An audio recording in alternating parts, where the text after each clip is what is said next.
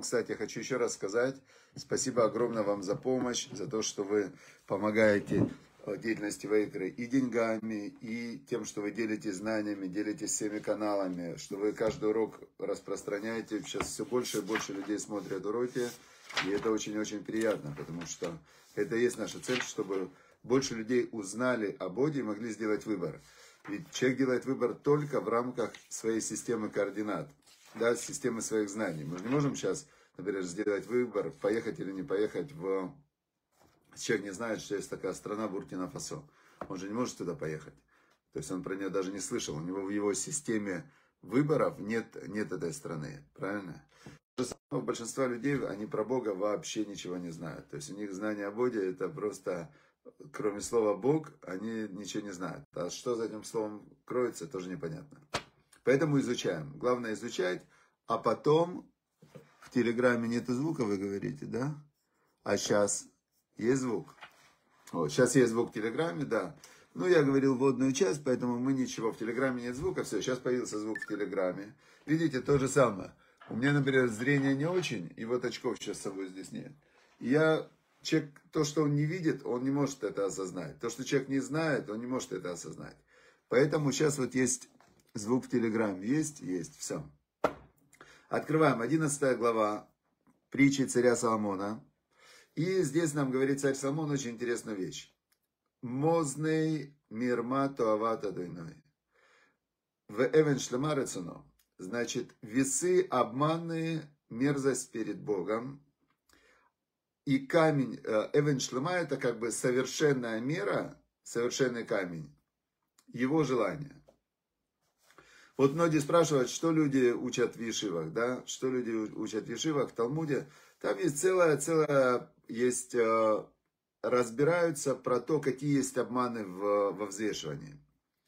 А как могут обмануть, как могут недовесить, как могут э, и так далее. То есть обычный человек, э, школьник, заканчивает школу, да, он не знает, что есть люди, которые обманывают в весах, что они вес ставят, вот раньше какие были весы, я еще помню, на рынке такой приходишь, вот такие весы было, две чашки, две чашки такие, на одну кладут товар, на другую дирки, такие были маленькие дирки, и добиваются того, чтобы они были одной, одного веса.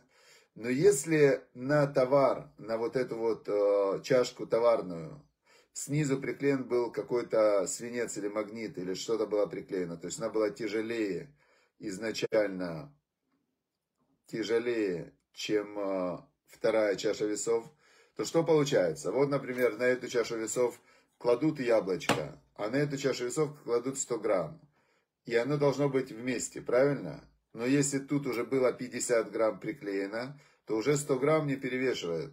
Значит, надо положить 150. Продавец кладет 150 грамм, ровненько он говорит, ваше яблочко весит 150 грамм. С вас 3 рубля. Он обманул ровно на рубль. Потому что яблочко весит 100, и вот оно бы стоило 2 рубля. Понятно, да? И вот он на каждом яблочке рубль зарабатывает, зарабатывает, да, вот эти вот работники-торговцы, это были обычные воры, они воровали. Вообще все вот эти вот, которые там чиновники, которые берут взятки и так далее, это просто надо назвать вещи своими именами. Они воры, они воруют у, не у страны они воруют, да, они воруют, просто воруют у тех же людей, которые дали налоги там в эту страну. Теперь э, говорит Всевышний, что это мерзость перед Богом, да. Шлома Мелах нам сообщил, что весы обмана и мерзость перед Богом, и совершенная мера, это, когда честная мера, это его желание. Но задает Вилен Стигаон очень глубокий вопрос. Он говорит, э, если человек обманул, он нарушил. А если не обманул, так он просто не сделал зло. Почему тогда получается, что из этого мы видим, что если он нарушил эту мерзость перед Богом, а если не нарушил, уже он выполнил волю Всевышнего. Получается, что когда мы воздерживаемся от э, запрещающей заповеди, да, то есть, как в перте вот написано, «Батель рацункоми пне рацуно», то есть, убери свое желание перед волей Бога, «Ву и ватель рацонахрими пне рацунаха», и он уберет желание других перед твоим желанием. То есть, не выполнение, не сделать преступление, потому что Бог запретил, это является одновременно заповедью, что ты выполнил волю Бога. Представляете, как Всевышний нам дает возможность а, очень сильно расти, даже когда мы просто воздерживаемся от преступления. Человек в шаббат не поехал куда-то, да, на пляж, там, например, да, он не нарушил шаббат. В этот момент он выполнил волю Всевышнего, и он а, соединяется с божественным светом, который идет в шаббат, очень сильно. Многие не понимают, зачем в шаббат воздерживаться от видов работ. Самое простое объяснение, это когда человек заходит в кинотеатр, то почему-то выключают свет. Но зачем выключают свет? И так можно было бы при свете смотреть, еще музыку можно было бы где-то включить. Отлично было бы. Там музыка звучит, тут свет светит, а, тут телефон у тебя, и еще фильм ты смотришь. Но каждый нормальный человек понимает, что в таком формате ты фильм хорошо не, не увидишь. Ты не воспримешь фильм, который на экране, если ты не отключишь другие источники входа информации. То есть выключи свет, чтобы стало темно, чтобы было только экран освещен. А, выключи звук другой, чтобы было слышно только с экрана. Убери другие, а, другие отвлекающие источники информации. И тогда ты увидишь фильм как фильм. То же самое шаббат. Шаббат это не просто отказаться от производительной деятельности. Когда ты отказываешься от производительной деятельности, в этот момент ты соединяешься с шаббатом и с этой божественной энергией, которую ты без этого почувствовать не можешь. Поэтому э, честный совершенный камень, совершенная мера, это и есть желание Всевышнего. То есть это и есть заповедь Всевышнего. Э, очень здесь интересно, что мы все время пользуемся весами. Человек пользуется весами не только когда взвешивает яблочки на базаре, да? Человек пользуется весами также, когда он принимает решение. Вот человек принимает решение. Опять же, возьмем тот же пример. На шаббат ехать ему там куда-то на море или куда-то, да, нарушать или не нарушать. Теперь, э, и он говорит, я, говорит, не могу не поехать. Не могу. Это называется обманные весы, потому что может, если бы ему заплатили тысячу долларов, он бы из дома не выходил бы, сидел бы не двигаясь. Сказали бы ему, смотри, у тебя зарплата в месяц сколько? Там, три тысячи долларов. Тебе за шаббат за один будут платить еще дополнительно тысячу долларов, чтобы ты просто сидел, шаббат и не двигался. 12 часов. Просто сиди, не двигайся. Кушать будут давать, тебе воду приносят, кушать приносят.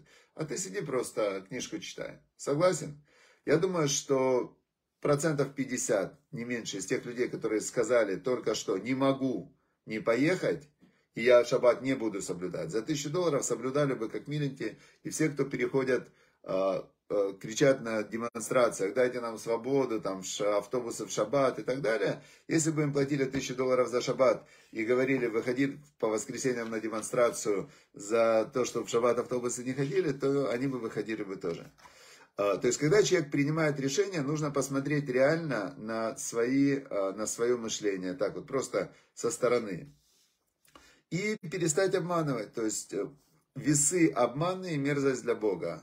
Совершенная мера – это его желание. Нужно быть честным и объективным в своем мышлении. Понятно, да? Не, а, не пользуясь вот этими вот такими формулами, типа, если нельзя, но хочется, значит можно. Нет, если нельзя, это нельзя. Если хочется, это хочется. Но если нельзя, но хочется, то это значит нельзя и хочется. То есть это, вот это называется совершенная мера. А так что это нельзя, но хочется, значит можно. Нет, это значит, что я иду против нельзя. И если я курю, я знаю, что я нарушаю там, э, значит, написано, что вредит здоровью. Я врежу своему здоровью. И, то есть нужно быть максимально объективным и правдивым. Второй отрывок. Второй отрывок говорит нам царь Соломон следующую вещь. Интересно, что вот с 10 главы мы видим, что каждый отрывок это отдельная формула, в, и вы можете прям записывать. Формула номер один в главе. Значит, мои выводы. Раз. Формула номер два. Мои выводы. Значит, вторая формула, второй отрывок. База дон воево колон. Веэт цнуим хахма. Значит, переводится так. Задон слово, задон. Такое слово, я помню, что как-то слышал такое слово в молодости, да? А, Маздон. Я никогда не понимал, спрашивал, что за Маздон такое? Ну, никто не знал, что такое Маздон, но вот э, типа про человека не очень хорошего говорили, что он Маздон в Харькове. Что за Маздон? Ну так, в некоторых кругах так, так назвали не очень хорошего человека, что он маздон. Тут и используется слово задон. Пришел какой-то задон, а, уже по названию понятно, что это не хороший человек, задон этот. И следом за ним приходит колон. Колон это позор. Позор. Вецнуим, а скромным людям, скромным, им хахма, им мудрость. Давайте разберемся, что это он нам хотел передать. Значит, задон – это человек, который хочет показаться сильно умным. Знаете, есть такие люди, они все знают, прямо все, они вот такие вот, а, очень они высокомерно, а, высокомерно знающие, да, очень они высокомерные. Теперь а, вот такие высокомерные люди, как есть известная такая шутка, что папа сыну говорит, сынок, не будь категоричный, не будь категоричный в своих утверждениях, не претендуй на абсолютную истину. Потому что человек, который категорично претендует на свою абсолютную истину, он, скорее всего, дурак. Сын его спрашивает, папа, ты уверен в этом? Он говорит, абсолютно, абсолютно уверен, сынок. Так вот, нельзя ни в чем быть абсолютно уверенным. И когда приходит вот такой задон, который высокомерно, абсолютно уверен в своей правоте, то сразу же следом за ним приходит колонн, приходит позор. Почему приходит позор? Потому что на такого задона обязательно найдется другой задон которые, а, вот меня всегда это успокаивает, и я, вот вчера у меня было, я с одним там начал спорить, да, и очень-очень э, утром это было в, ну, в общем, была какая-то служба поддержки, Шарут, э, служба по телефону, и я с одним начал спорить. И потом все равно я ничего ему не доказал, все равно там, ну, то есть я считаю, что я был прав, он считает, что он был прав.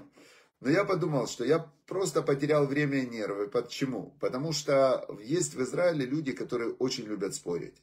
Которые прям настолько они просто. Я думаю, вот он, ну, сто процентов же сегодня, вот он нарвется на такого, который ему все скажет. Ему все расскажет про него, про его жизнь, про его вообще. То есть, э, зачем мне было терять свое время, я все равно не выиграл в этом споре. И если бы я вчера выучил этот отрывок перед этим спором утренним, да, то я бы, конечно, бы обратил внимание на вторую часть, что скромным мудрость. Это мы знаем, что молчание золота, мы также знаем, что говорил в Пертиавод Раби Шиман, он говорил так, что «Коль ямай гадаль тебе на хахамим», всю свою жизнь рос я между мудрецов. «Вело мацателя гуфтов миштика», ничего не нашел лучше для тела, чем молчание. Вело мидраш у Айкар эля масе. И не э, лидрош, не э, там, э, как сказать, говорить всякие такие слишком умные вещи. Это основа, а действия. В коле марбе бедварим, каждый, кто умножает в словах, мавихет, он приводит к греху. То есть это факт, что кто-то много разговаривает, он кого-то обидит, где-то ошибется, где-то скажет неправильно, где-то э, свернет не туда и так далее. Поэтому царь Соломон сказал, Придет этот задон высокомерный, обязательно придет ему позор. Как тут ни крути, нарвется. И цнуим, скромным, будет мудрость. Лучше в это время понаблюдать, посмотреть, в, как бы, да, понять, осознать, что-то выучить, позадавать себе вопросы, а что если так, а что если так, а куда так, а куда так. То есть э, именно только это все возможно в скрытности, в скромности и в молчании. Дальше, третий отрывок. Третий отрывок нам говорит следующую формулу. Тумат и Шарим Танхем, Веселев Богдим и Шадем. Значит, дословно переводится это так. Третий отрывок дословно переводится так. Значит, э, э,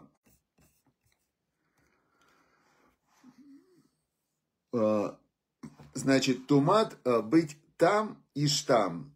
Вот Якова называли Иштам. Это такой простой, простосердечный. Это называется человек простой, простосердечный. Прямой такой, да? Значит, прямота, простосердечность Ешарим, людей прямых, она будет их вести по жизни, водит их. Теперь а, Веселев Богдим. Есть люди, которые селев, это вот такой вот а, искривленный. Богет это тот, кто предатель да, и Шадем, она, э, Шод это грабеж, она их будет грабить.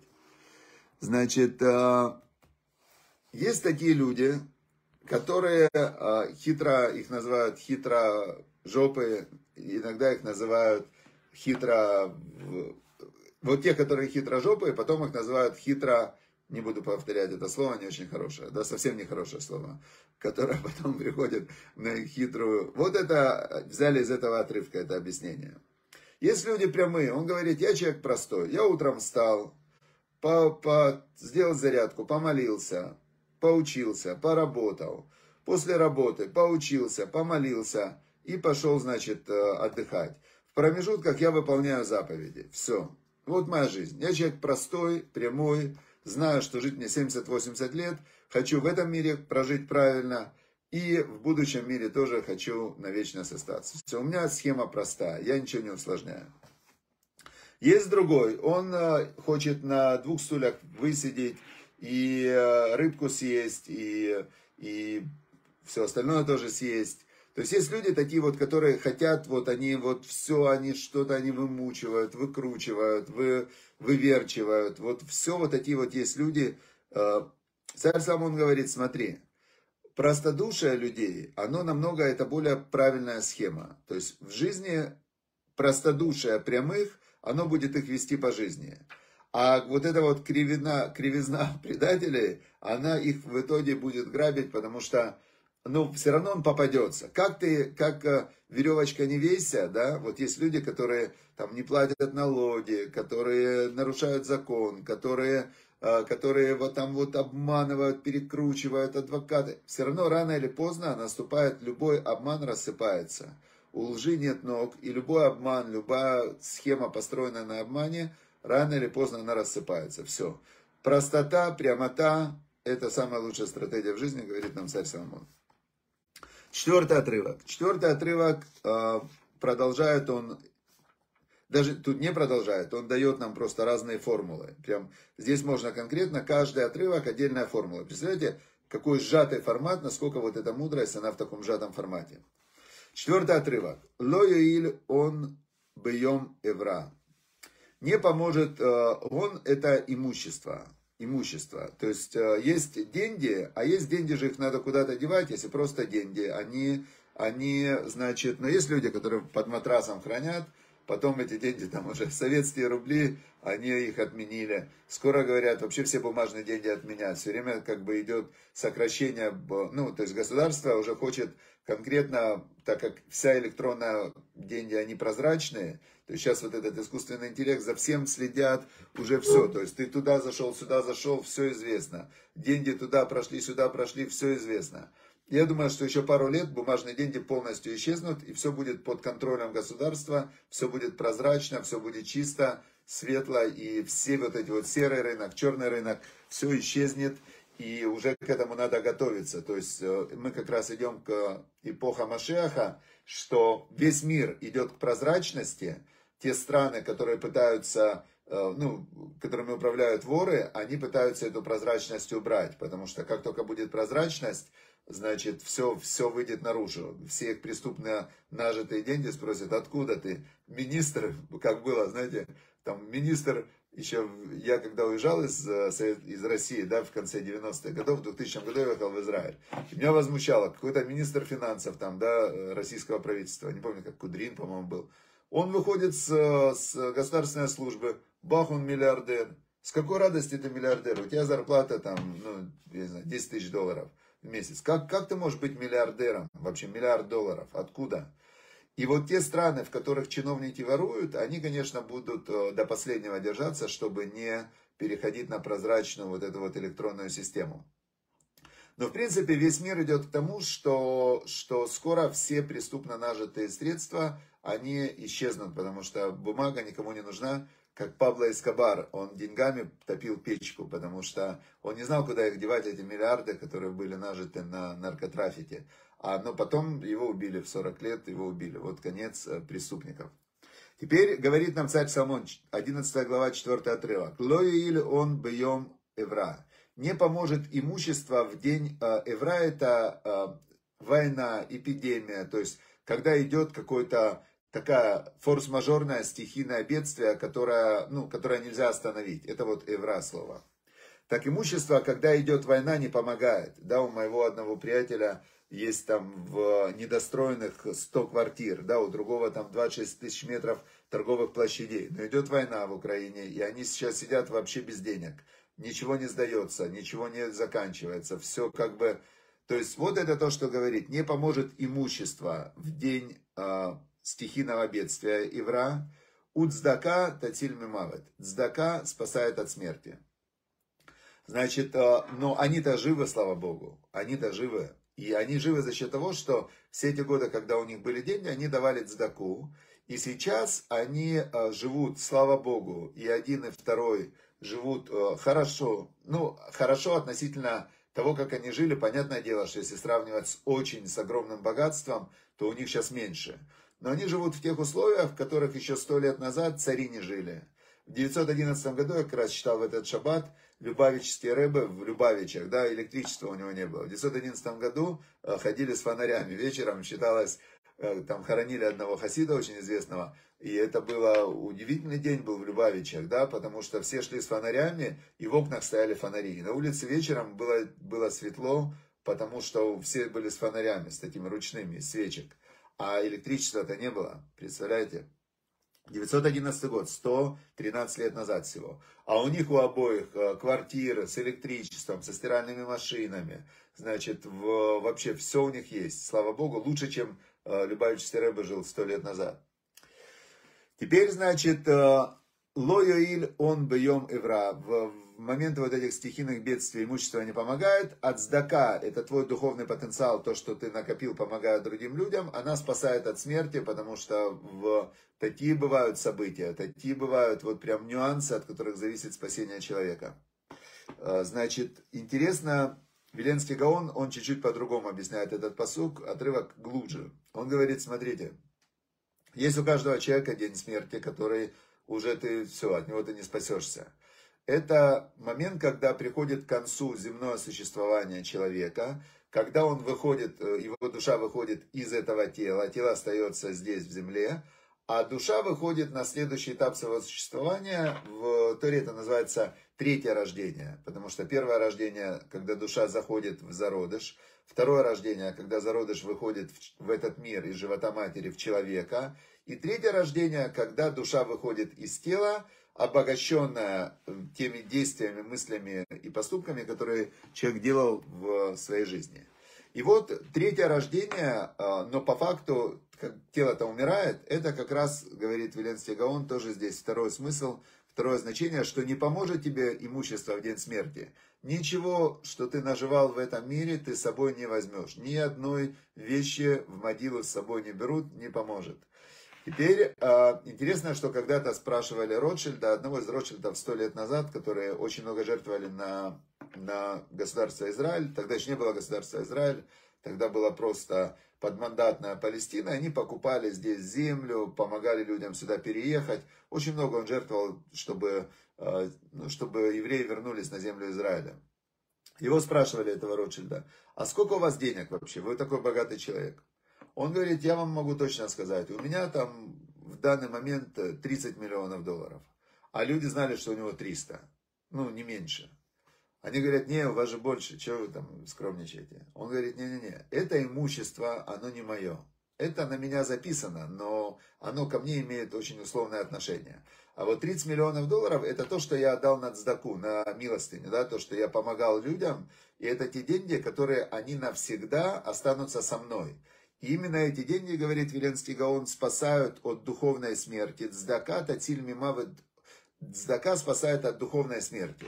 То есть, когда тело умирает, в боем Эвра, вот этот все момент уже, тело умерло, имущество не поможет. То есть, сколько было у человека, хоть миллиардер он умирает, хоть у него ничего не было, все умирают одинаково. И вот момент, когда тело лежит э, перед тем, как его будут хоронить, безжизненное тело, душа она от тела не может оторваться первых э, семь дней, она еще между телом и, и духовным миром, она как бы, ну, ей страшно, а кому-то не страшно, кому-то, который всю жизнь готовился, он, э, называется это Мавар Ебок, он читает специальную книгу, переход через реку Ебок, и, и уходит туда, да. Такие вот есть люди, которые в полном сознании выходят из э, этого материального мира, идут туда.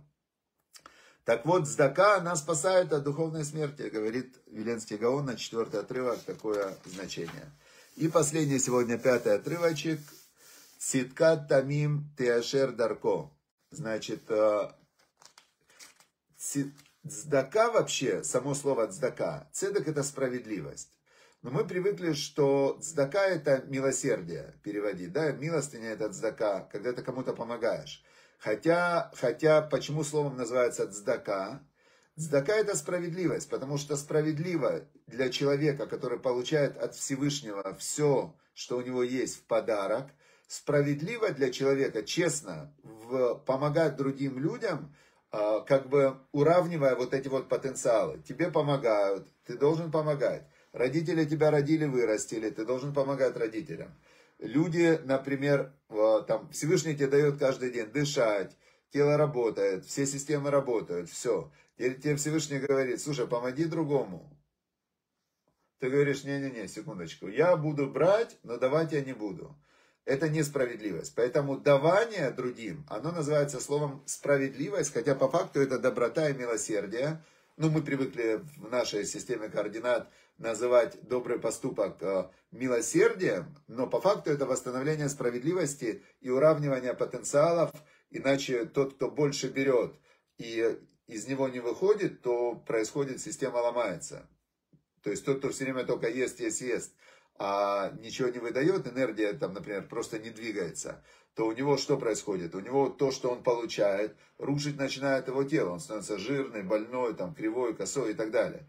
То есть, если человек энергию получает и выдает, он тренируется, делает упражнения и так далее, то он выравнивает потенциал. И у него отлично поел, потренировался, тело там все разобралось, куда строительный материал направить, все, он здоровенький прямой.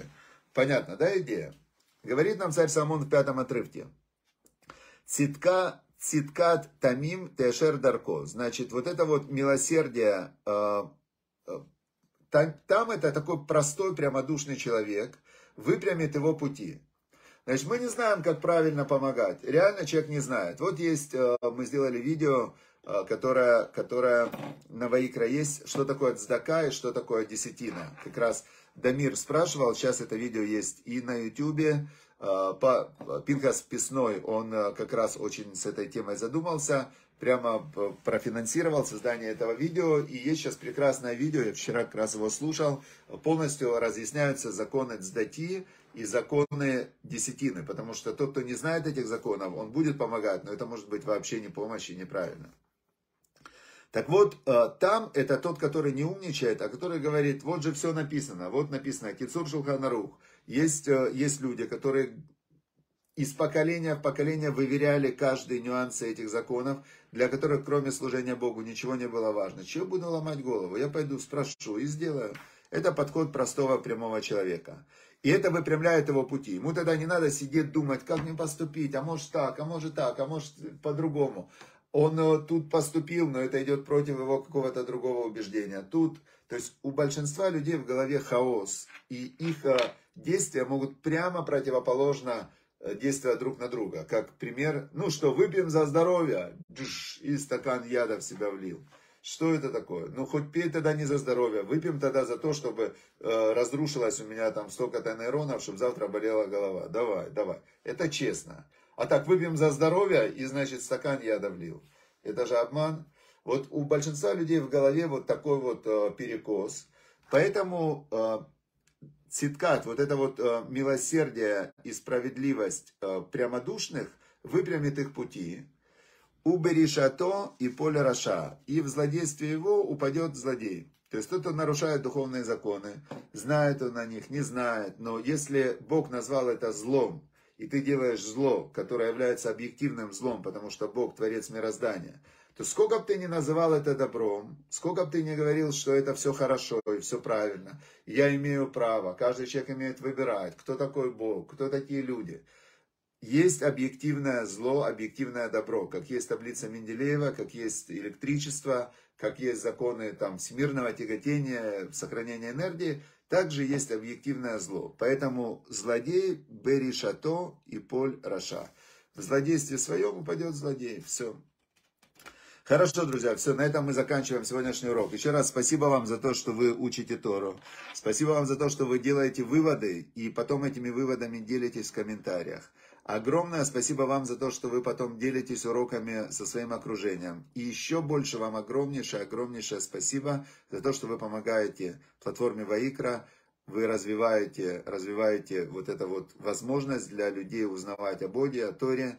И э, очень, если у вас есть какие-то еще идеи, как помогать, какие уроки инициировать. Может быть, э, у вас есть, э, там, вы хотите каких-то лекторов особенных. Может, вы сами уже готовы проводить лекции и рассказывать о своем пути, как вы вернулись к Богу. Пожалуйста, связывайтесь с Яковом Шатадиным и э, предлагайте, предлагайте, потому что как бы каждый человек, он сотворец, сосоздатель того мира, в котором мы живем.